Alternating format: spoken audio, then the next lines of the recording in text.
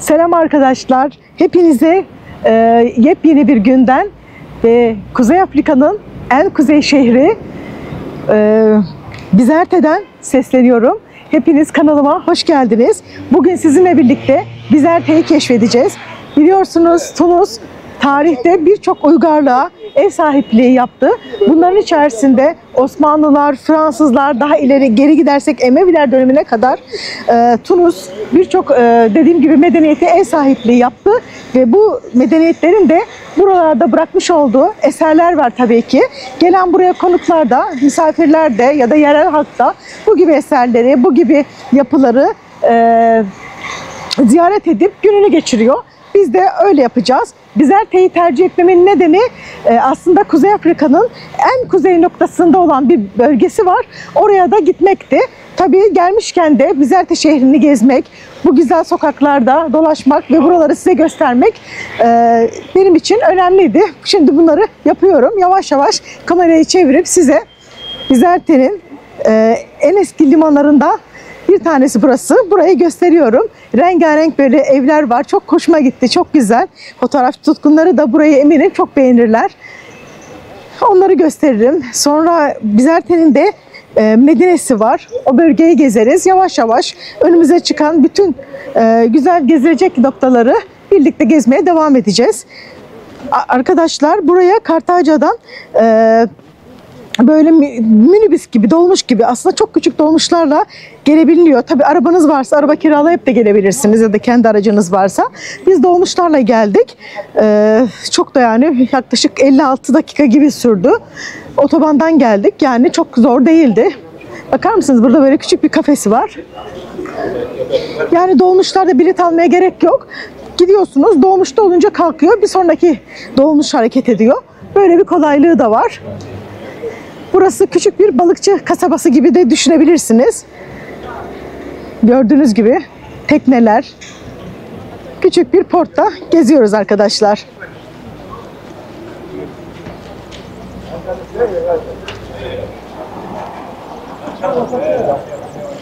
Bu görmüş olduğunuz bütün böyle binaların altında da kafeler. Mesela burası güzel bir kahve. Selam. Kafeler, restoranlar, turizm amaçlı işletilen yerler diyebiliriz. Gerçekten Tunus insanları çok sıcak, çok yardımsever. Bu konu beni çok mutlu etti. Burada mesela bir bayan tek başına bütün her yeri gezebilir. Hiç kimseden bir rahatsızlık duymayacağına eminim. Aslında e, biz buraya gelmeden önce buraya daha işte daha önce gelmiş arkadaşlar bazı bazı konulara dikkatli olun falan dedi işte. İşte özellikle dar sokaklarda falan gezerken hani ama biz yani birçok yere girip çıktık. Kaç günden beri buradayız. Hiçbir sorun olmadı. Gerek ben tek başıma e, gezdiğim zaman da gerek de eşimle de birlikte olsa hiçbir sıkıntı olmadı. Gerçekten buranın halkı çok yardımsever dediğim gibi. Çok e, her sorduğumuz soruya bize ellerinden geldiğince e, yardım etmeye çalıştılar. Tabii e, dillerini de çok bilmiyoruz. İşte el kol hareketleriyle öyle böyle bir şekilde anlaşmaya çalıştık. Hepsine buradan teşekkür ediyorum. Evet arkadaşlar şöyle çevireyim. Gördüğünüz gibi mavi, pembe, kırmızı boyalı evler güzellik katmış bu limana. Böyle ilerliyoruz. Burada insanlar işte balık tutuyor. Tuttuğu balıkları bir yer var hemen arka tarafta. Orada satıyorlar.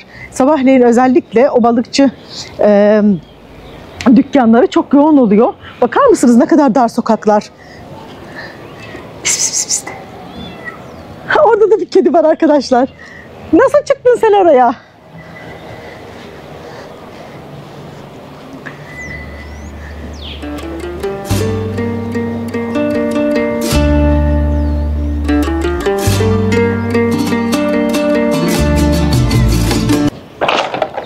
Bakın orada da kafede Paşa yazıyor. Paşa kafe. Hep buralar böyle restoranlar, kafeler. Sıcak soğuk bir şeyler içebileceğiniz yerler. Hemen karşıda bir kale gibi bir şey görüyorum. Oraya da gidip bakalım neymiş orası.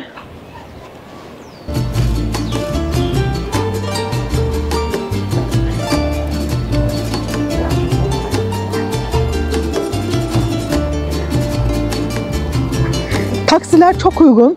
Taksi e, durduracağınızda yani kiraladığınızda ya da işte kullanmak istediğinizde e, çok ekonomik arkadaşlar. Normalde bildiğiniz gibi dolmuşlarla hani ya da ne bileyim işte otobüste falan da e, kullanabilirsiniz ama şehir içlerinde taksiyle e, bir yerden bir yere gitmek çok ucuz, çok eko- ekonomik. Bu da bizi mutlu etti. Bayağı bir taksi kullandık. Bakın gene burada bir mavi bir kapı. Mor kapı. Böyle renkli renkli kapılar.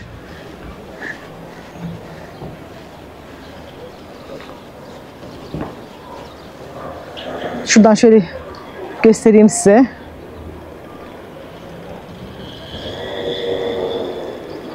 huzurlu bir kente benziyor. Böyle baktığımızda gerçekten çok güzel bir balıkçı kenti arkadaşlar Bizerte.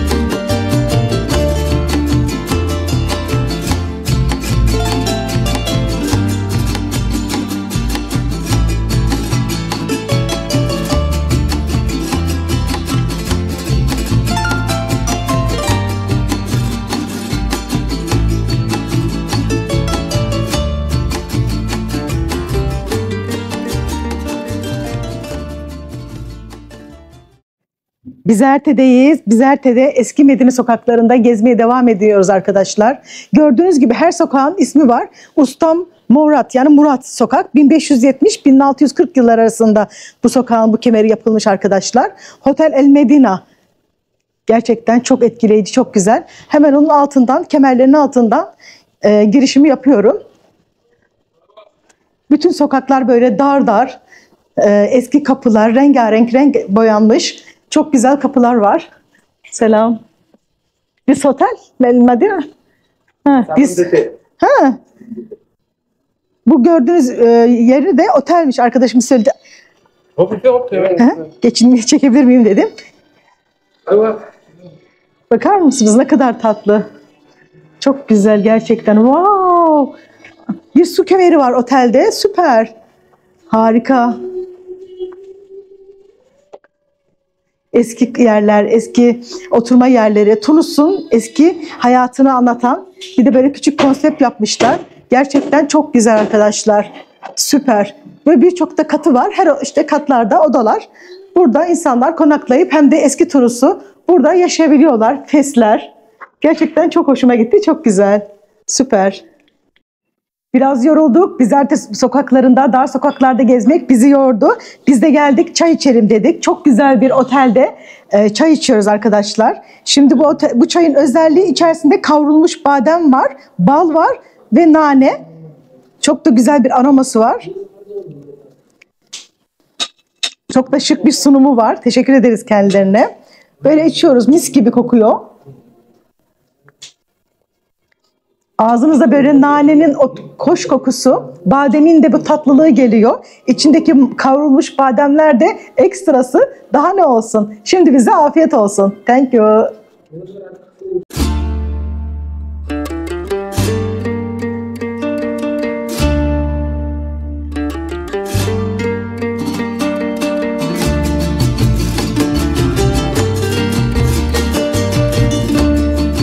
Her sokak insanı şaşırtıyor gerçekten.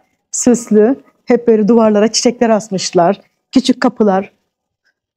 Bu kale içerisinde dediğim gibi halen de yaşam var. Biz de bu sokakların aralarında keşife çıktık. Güzel keşfimizi yapıyoruz da. Bakın bu, burada kapının önemini belirtecek böyle fotoğraflı mozaikten resimler de koymuşlar. En üst böyle kapıda tokmaklar aşağı küçük yerde ve daha en altta onların da hep anlamları var. Tokmakların e, yukarıda olanların ve kalın çalınanla erkekler vuruyor. E, diğer tarafta daha ince ses çıkaran e, zil se- sesi olan e, tokmaklar ise kadınların o eve geldiğini anlatıyor. En küçük aşağıda olan e, tokmaklar ise çocukların eve geldiğini e, insanlara belirtiyor ve evin hanımı ona göre nasıl davranıp e, açmak isteyip istemediğine karar veriyor. Bu da çok ilginç bir ayrıntı olmuş. Yani güzel değişik. Bunu ben ilk defa burada öğrendim. Bakar mısınız? Sokaklar hep böyle dar dar ve çok güzel. Kemerler var.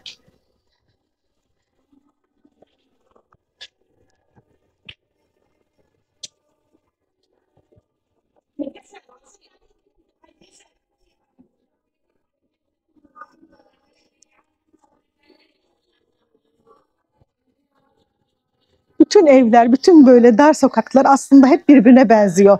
Mavi beyaz ağırlıklı gördüğünüz gibi. Burada da cemileleri görüyoruz. Çok güzel olmuş.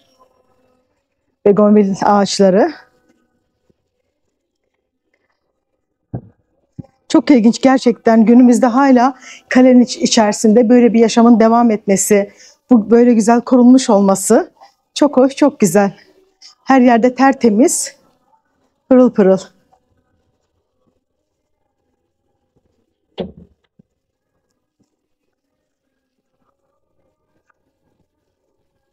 Bizerte'de kale içinde eski Medine sokaklarında dolanıyoruz. Ay ne kadar güzel bakar mısınız? Kemerin üstünde burada bir de böyle cam koymuşlar. Harika olmuş. Dediğim gibi her sokak insanı şaşırtıyor.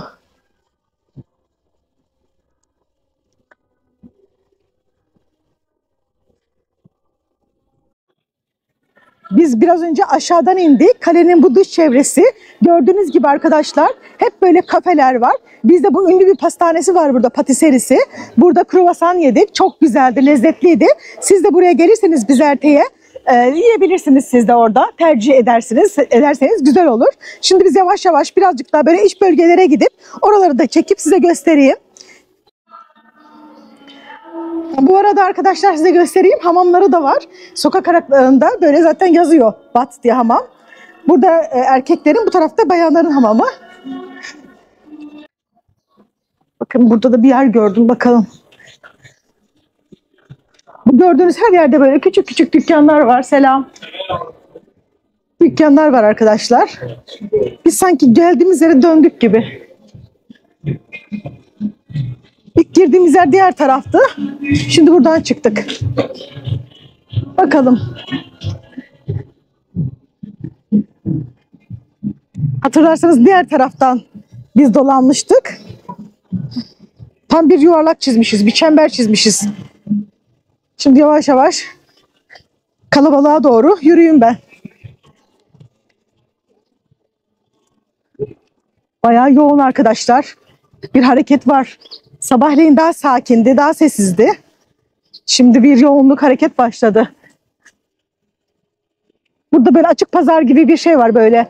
E, kaşık maşık aslında aklınıza ne gelirse onlar satılıyor. Telefon kapları, gözlükler, cüzdanlar.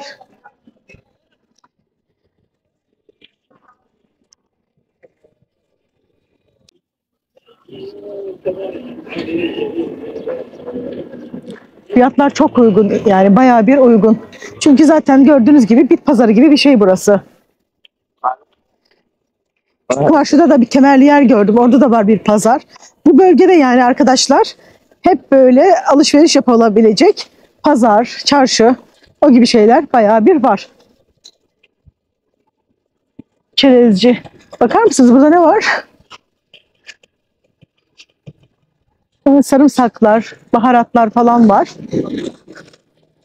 Topaçlar da vardı. Aklınıza ne gelirse burada bulabilirsiniz.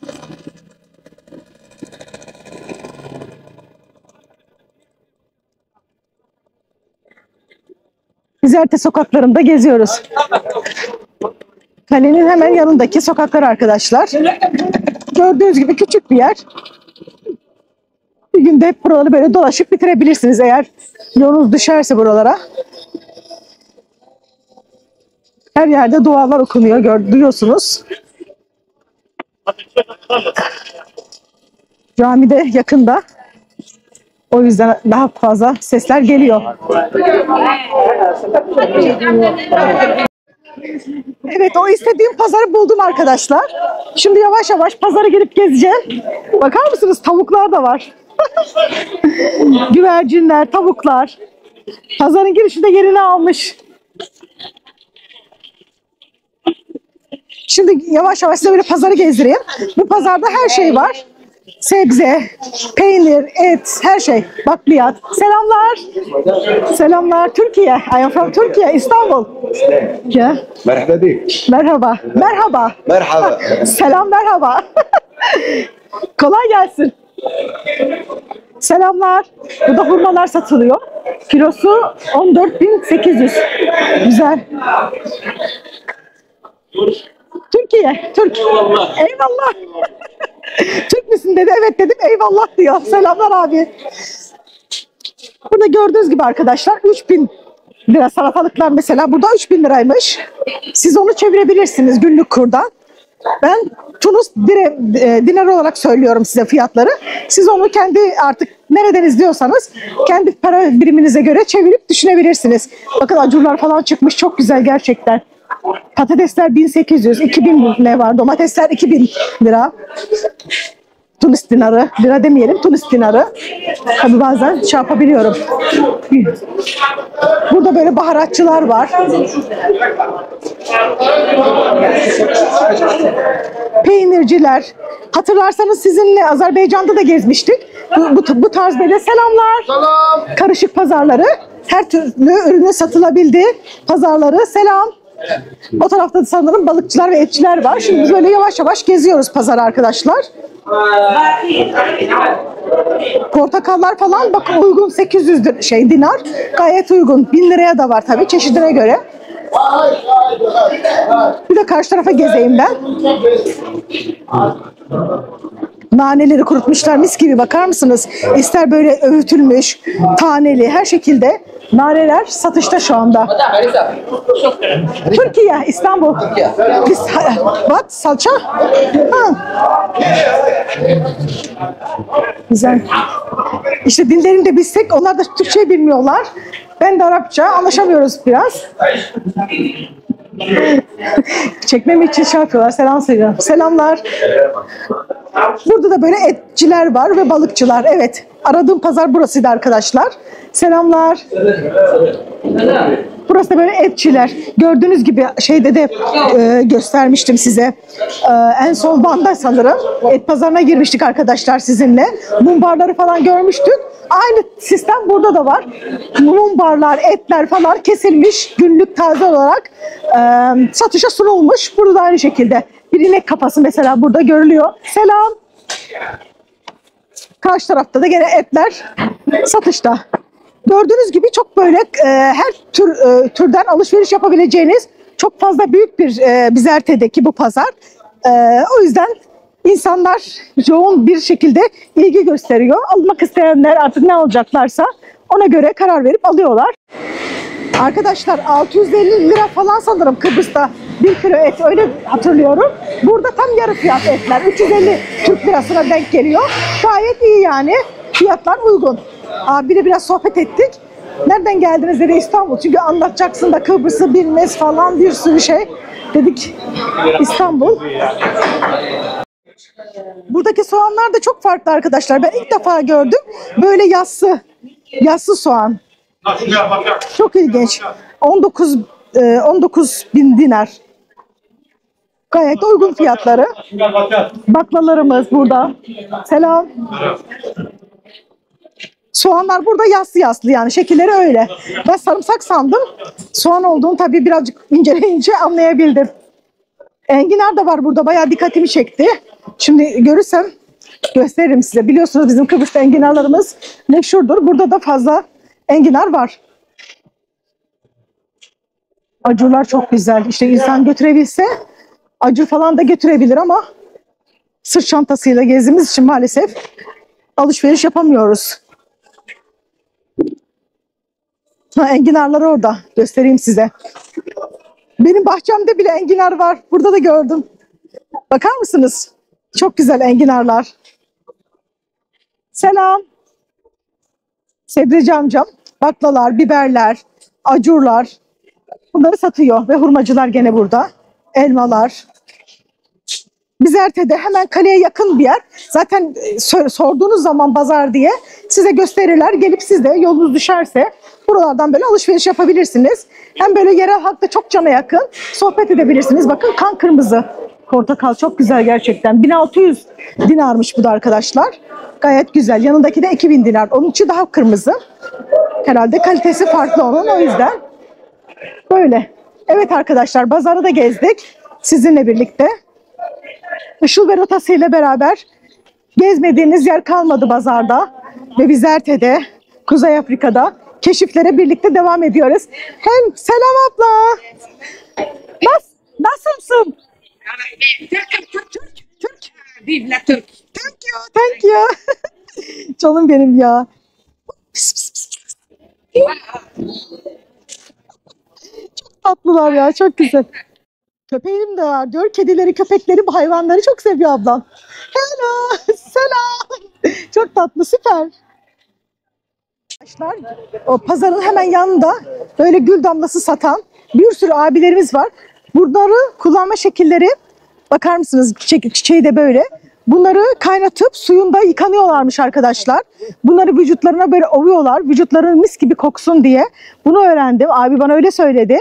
Gerçekten çok ilginç ve bu insana geceleyin rahat bir uyku sağlamasını yani uyumasını sağlıyormuş. Bu da güzel bir bilgi. Bunu da öğrendik. Yani gül damlasıyla bir sürü şey yapıyorlar. Ee, çok ilginç ve bayağı da bir alıcısı var burada. Demek ki bu bölgenin insanı bunu çok güzel böyle e, kullanıyorlar. Aynı zamanda kadınlar bunları parfüm olarak da kullanıyorlarmış. Bunun parfümünü de yapıyorlar kendileri. Bunu da öğrendim. Gerçekten çok güzel. Size kısa böyle bilgi vermek istedim. Şimdi yavaş yavaş ilerliyoruz. Bu gül satılan yerde biraz önce pazarı gezmiştik. Hemen onun yanında arkadaşlar. Böyle şeyde.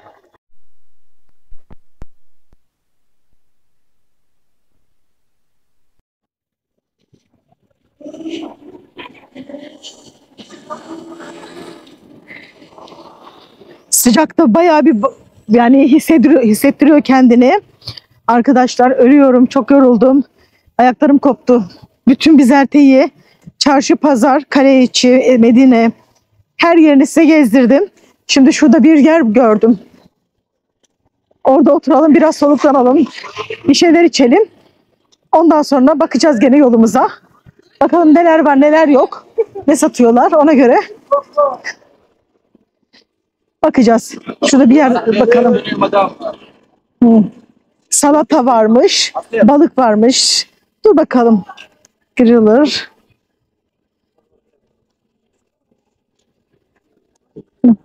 Şurada bir yerde oturalım bakalım bir. Gölge bir yer bulayım. Duruma göre bir şeyler atıştıralım.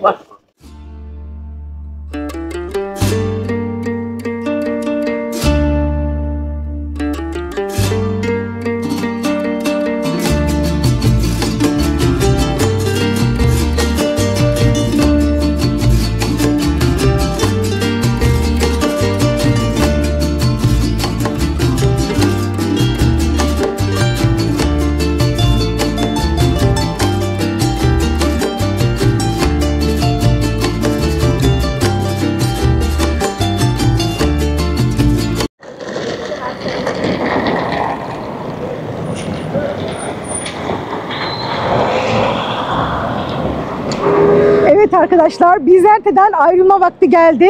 Biz şimdi e, buradan nasıl geldik ve nasıl gittik hakkında size birkaç bir şey söyleyeyim. E, buraya bu launchlarla geldik. Yani bu küçük baslarla geldik. Küçük otobüslerle geldik. Sistem şöyle işliyor. Bilet almıyorsunuz. E, doluyor ve e, kalkıyor. Parayı direkt oradaki şoföre veriyorsunuz ya da ilgilenen kişiye veriyorsunuz. Dolduk sıra kalkıyor. Yani belli bir saatte burada olun falan denilirse hiç şey yapmayın. Direkt binin ve gidin. O şekilde aşk arkadaşlar. Böyle bir size bilgi vermek istedim. Artık biz buradan ayrılıyoruz. Yeniden e, Kartaca'ya döneceğiz. Ondan sonra biraz dinleniriz falan. Daha sonraki günlerde de başka bir lokasyonlara doğru yöneleceğiz. Size e, ulaşım hakkında da böyle bilgi vermek istedim. Çok kolay. E, araba kiralayıp da gezebilirsiniz ama bu gibi dolmuşlarla in dolsun ve kalksın şeklinde mantığıyla çalışan bu dolmuşlarla da ulaşım kolaylıkla sağlayabiliyorsunuz. Bugün de hava çok sıcak, dilim damağım kurudu. Yani e, perişan oldum. Gerçekten e, sabahları ve gece biraz serin oluyor. Buranın iklimini öyle fark ettim ama öğlenleri aşırı derecede sıcak arkadaşlar. Ona göre bir şeyler giyinip ona göre yola çıkabilirsiniz. Böyle de bilgi vereyim. Evet arkadaşlar biz şimdi artık dolmuşa doğru yönelip binip yolumuza devam edeceğiz.